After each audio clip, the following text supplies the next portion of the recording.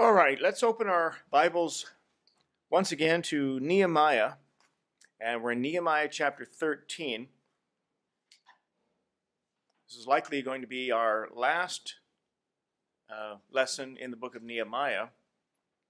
We started back on January 9th, 2019, and of course, I had to cancel a number of times, about every other Wednesday night, because of my uh, medical treatment.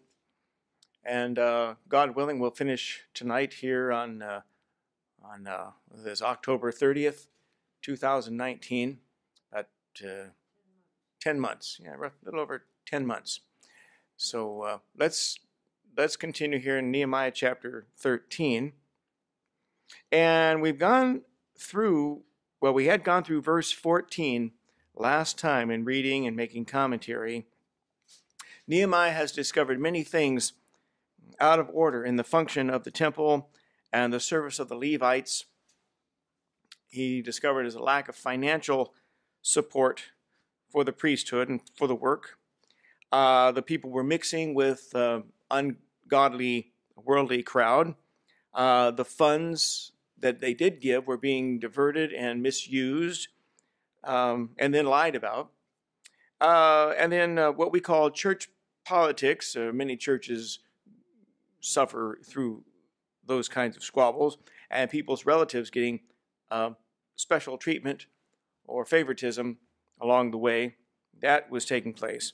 Nehemiah solves the problem of uh, pastoral support by putting some honest men in charge of the collections. Look back at verse 13. And I made treasurers over the treasuries, Shelemiah the priest and Zadok the scribe, and of the Levites, Pedaiah, and next to them was Hanan the son of Zaccur, the son of Mattaniah, for they were counted faithful, and their office was to distribute unto the brethren, unto their brethren.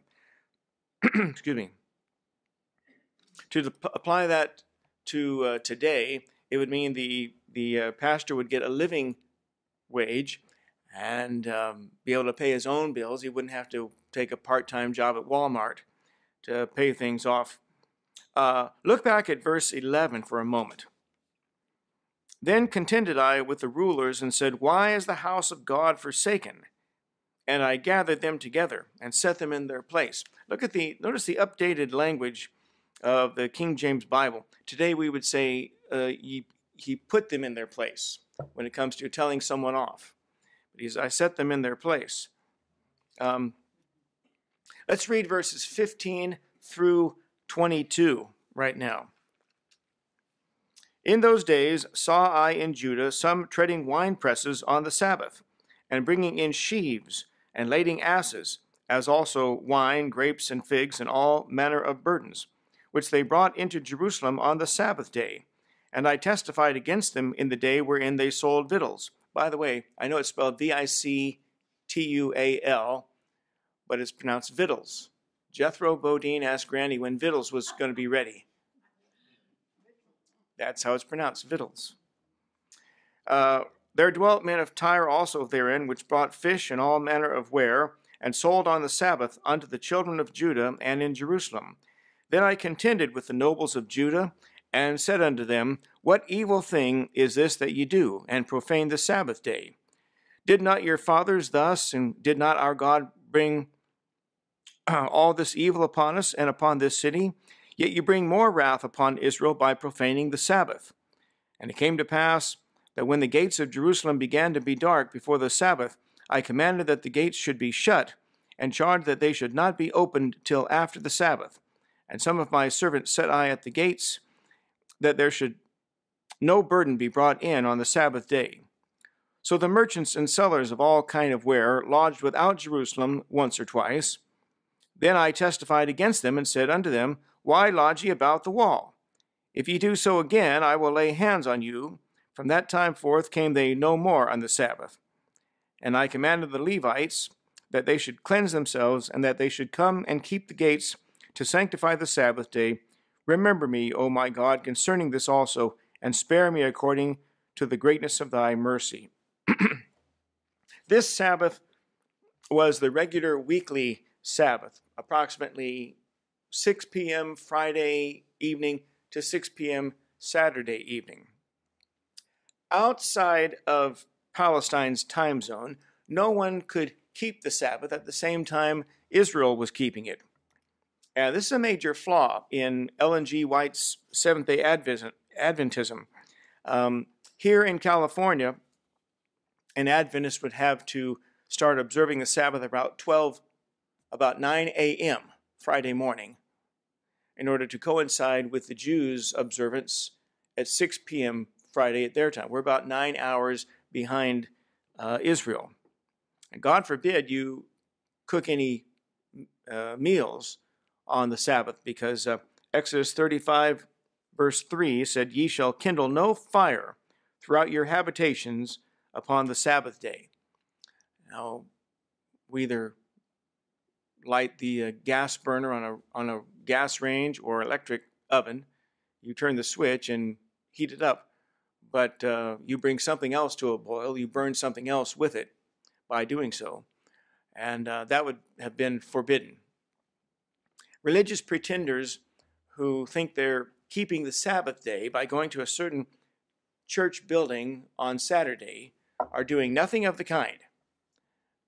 Like I say, it's a it, it's a clever uh, pretend, but it's not keeping the Sabbath day along with the Jew. A Sabbath day's journey, as mentioned in Acts 1, verse 12, um, they counted the, the distance from Jerusalem to the Mount of Olives. A Sabbath day's journey uh, was restricted to about a half mile, slightly over a half mile. So if some Adventist is driving farther than a half mile to go to church on Saturday, he's breaking the Sabbath. That had become the law at the time of Christ in the book of Acts. Let's continue reading verses 23 through 31, the rest of the chapter. In those days also saw I Jews that had married wives of Ashdod, and Ammon, and of Moab. and their children spake half in the speech of Ashdod, and could not speak in the Jews' language, but according to the language of each people. And I contended with them, and cursed them, and smote certain of them, and plucked off their hair, and made them swear by God, saying, Ye shall not give your daughters unto their sons, nor take their daughters unto your sons, for your or for yourselves. Did not Solomon, king of Israel, sin by these things? Yet among many nations was there no king like him, who is beloved of his God, and God made him king over all Israel. Nevertheless, even him did outlandish women cause to sin. Shall we then hearken unto you to do all this great evil, to transgress against our God in marrying strange wives? And one of the sons of Joiada, the son of Eliashib, the high priest, was son in law to Sanballat the Horonite. Therefore I chased him from me. Remember them, O my God, because they have defiled the priesthood and the covenant of the priesthood and of the Levites. Thus cleansed I them from all strangers, and appointed the wards of the priests and the Levites, every one in his business. And for the wood offering at times appointed, and for the first fruits, remember me, O my God, for good. Here we go again at the beginning of this section with the problem of race mixing, or as the news media calls it, integration. The Ammonites and the Moabites, mentioned verse 23, would have been from what's called the, or the east bank, east of the Jordan River, uh, Transjordan, as it was sometimes uh, labeled, I think by Winston Churchill in the 40s or 50s. Uh, the Ashdodites, verse 23, were plainly Philistines. Ashdod was a principal city of the Philistines uh, along with four others, and they were, were these uh, Ashdod, Gaza, Ashkelon, Gath, and Ekron. Those were the five, five principal cities in the territory of the Philistines, uh, according to 1 Samuel 6, verse 17. The Holy Land was first called Palestina in Exodus 15, verse 19, hence Palestine today, ever since about 70 AD, when the Romans came in and uh, destroyed the temple again in their day and uh, drove Jews all around the world from that point on. Notice Nehemiah's conduct there in verse 25. Let's read that verse again. And I contended with them, and cursed them, and smote certain of them, and plucked off their hair, and made them swear by God, saying, Ye shall not give your daughters unto their sons, nor take their daughters unto your sons, or for yourselves. Uh, it's the opposite of Paul's instructions for a New Testament minister.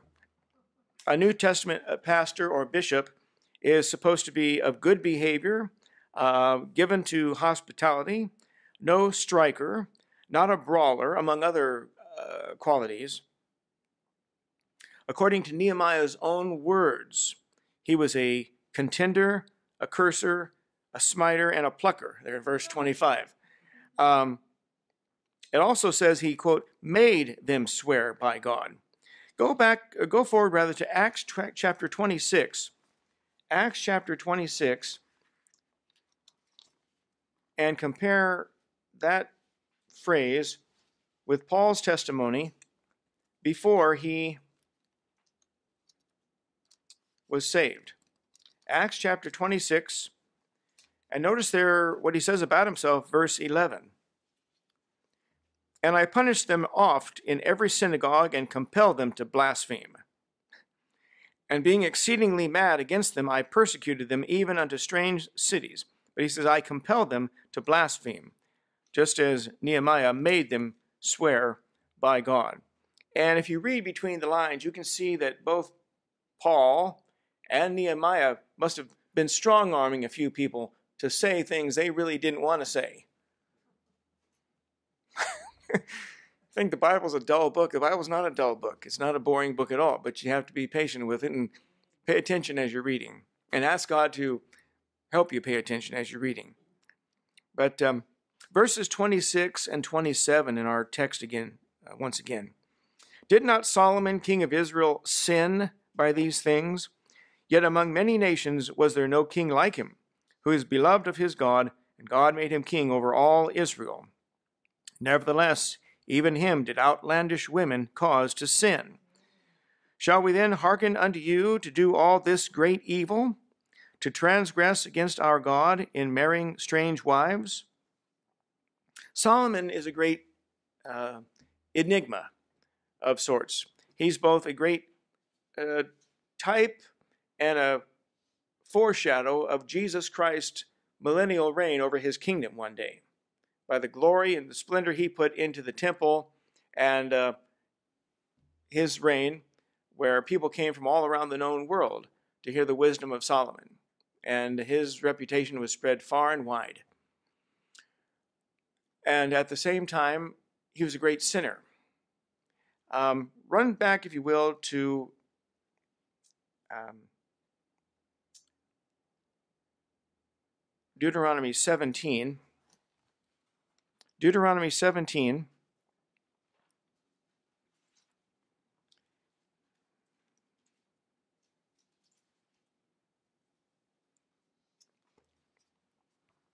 And if you look at that, that text we just read a moment ago, you'll see verse 26 um, Did not Solomon, king of Israel, sin by these things? And then did outlandish women cause him to sin? Uh, and a third time, verse 27, shall we hearken to you to do all this great evil? And a fourth time, it's to transgress against our God. Uh, when something is stated at least four times for emphasis, then you can be certain God takes it seriously. Race mixing in the Old Testament was a great sin, especially for the for the nation of Israel. Go back to the end of the book of Numbers, and God commanded that all the 12 tribes should keep their own tribes separate from the other 11 tribes, uh, not even to intermarry with among themselves. So to keep their family and their possessions uh, in the right hands. God wanted to preserve bloodlines and uh, identities of tribes because he had the tribe of Judah specifically in mind as the lineage of the king, the Lord Jesus, one day. But look at Deuteronomy uh, 17 and begin there at verse 16. Here, God is listing the the uh, requirements, the things he expects of some king. If they want a king for themselves, then this is what I expect him to be like. Verse 16 He shall not multiply horses to himself, nor cause the people to return to Egypt, to the end that he should multiply horses. Solomon did that. For as much as the Lord hath said unto you, ye shall henceforth return no more that way. Neither shall he multiply wives to himself. Solomon certainly did that. That his heart turn not away, neither shall he greatly multiply to himself silver and gold. Solomon did that. So much so that silver laying on the ground like, like a rock had no more value. There was so much gold everywhere you went in Solomon's kingdom and around the uh, Jerusalem at the time that uh, silver had no value. There was so much gold to be had. Why bother with silver? Verse 18 It shall be that when he sitteth upon the throne of his kingdom, that he shall write him a copy of this law in a book out of that which is before the priests, the Levites. And there's no indication that Solomon did that. And it shall be with him, and he shall read therein all the days of his life, that he may learn to fear the Lord his God, to keep all the words of this law and these statutes, to do them. Verse 20 That his heart be not lifted up above his brethren, and that he turn not aside from the commandment to the right hand or to the left, to the end that he may prolong his days in his kingdom, he and his children in the midst of Israel. And um, above all, Solomon promoted idolatry. Uh, go back to 1 Kings, uh, 1 Kings 11. 1 Kings 11.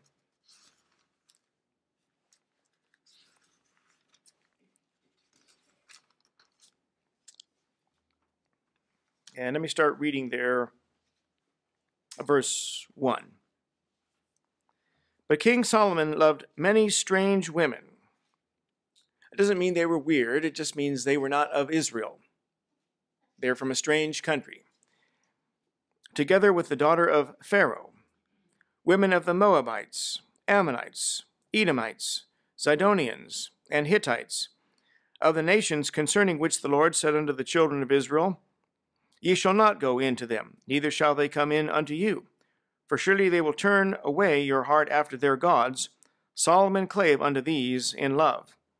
And he had seven hundred wives, princesses, and three hundred concubines, and his wives turned away his heart. Um, a concubine is sort of a second class wife. Think of some Muslim who's got four wives now in, over in, you know, uh, Saudi Arabia. Uh, one may be his his favorite, his principal wife.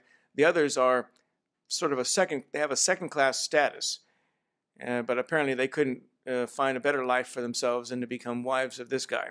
Well, Solomon had 700 wives and 300 concubines, a thousand wives.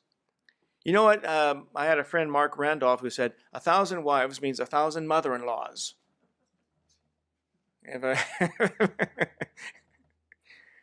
and uh, that's not always peaches and cream either. Verse 4 For it came to pass when Solomon was old that his wives turned away his heart after other gods, and his heart was not perfect with the Lord his God, as was the heart of David his father. For Solomon went after Ashtoreth, the goddess of the Zidonians, and after Milcom, the abomination of the Ammonites. And Solomon did evil by the way, back up to verse 5, Solomon went after Ashtoreth. That's where we get the, from that comes the word uh, Uh, Astarte, Ishtar, Isis, Easter. The goddess who was depicted with the rising of the sun. And Solomon did evil in the sight of the Lord and went not fully after the Lord, as did David his father. Then did Solomon build an high place for Chemosh, the abomination of Moab, in the hill that is before Jerusalem and for Molech, the abomination of the children of Ammon. Molech was a god they would sacrifice their own children to, to appease that evil god's wrath. Animal, you know, human sacrifices. Verse 8. And likewise did he for all his strange wives, which burnt incense and sacrificed unto their gods. And the Lord was angry with Solomon because his heart was turned from the Lord God of Israel, which had appeared unto him twice, and had commanded him concerning this thing, he should not go after other gods, but he kept not that which the Lord commanded. Wherefore the Lord said unto Solomon, Forasmuch as this is done of thee, and thou hast not kept my covenant and my statutes, which I have commanded thee, I will surely rend the kingdom from thee, and will give it to thy servant. All right, we'll go back to our text. Lastly, in Nehemiah chapter 13, notice verse 28. And one of the sons of Joiada, the son of Eliashib, the high priest, was son in law to Sanballat the Horonite. Therefore I chased him from me. Eliashib was the, the Levite or the priest mentioned earlier in verse 7 who was abusing his authority or his rights in the temple and he had built a uh, little apartment and cleared out the storeroom and built a little apartment for um, the other one there mentioned. Who is that in verse 7? Uh, Tobiah. and uh, Eliashib's grandson had married the daughter of Sanballat. And if you recall, Sanballat was uh, the, the Horonite. Uh, he was mentioned earlier in chapters 2 and 4 and 6 and he was one of the biggest uh, enemies the Israel had, one of the biggest opponents to them trying to rebuild and reorganize as a people once again. And uh, so once Nehemiah figures out who this guy is, uh, and we need to separate ourselves from any influence of wickedness or, or the possibility of someone who doesn't belong to us trying to influence uh, someone then he said to him effectively, uh, Get your things and don't come back. And beyond that, I'm not, I don't have anything more to add. The Jews here, in, we, we've looked at Ezra and Nehemiah rebuilding after the 70 years of captivity in Babylon. Uh, the kingdoms change, the rulers change in Babylon. But Israel, God had protected, and at this time, Nehemiah was the authority because he was the authority of the king of Persia at the time. Therefore, uh, he was the top dog to oversee the rebuilding. And he organized uh, the Levites, he organized the rebuilding of the temple and the temple wall around Jerusalem. And uh, when he saw something out of order, he had the authority to fix it because he was there under the authority of the Persian king to re- restore the Jews back to their land, their homeland. And to, to think how God has protected and preserved the people of the Jew, uh, the descendants of Abraham, down through the centuries to this very day here in 2019 is a real modern miracle. We've all seen it over the course of our lifetimes, how that God has preserved the people, he's preserved the language, and their identity is fixed in them like an instinctive brand. Even if they can't show by some formal proof which tribe they're descended from or that they are even Jews, there's something inside of them that, that knows they are. Um, why do the salmon swim upstream? It's, it's instinctive in them, and so forth. And uh, the Jew knows he's a Jew. And uh, for fear of man, uh, many times he tries to conceal that and change his name and sound more Gentile ish and get along in the Gentile world. But inside, he can't cover up the fact that he knows he's a Jew. And God has protected them, God's preserved them and kept them alive, kept their identity alive, because He's not finished giving them blessings He once gave to Abraham many, many centuries ago. All right, we're going to stop right there. I appreciate your patience with me as we've gone through the book of Nehemiah. And uh, let's ask the Lord to dismiss us now with uh, safety and blessing.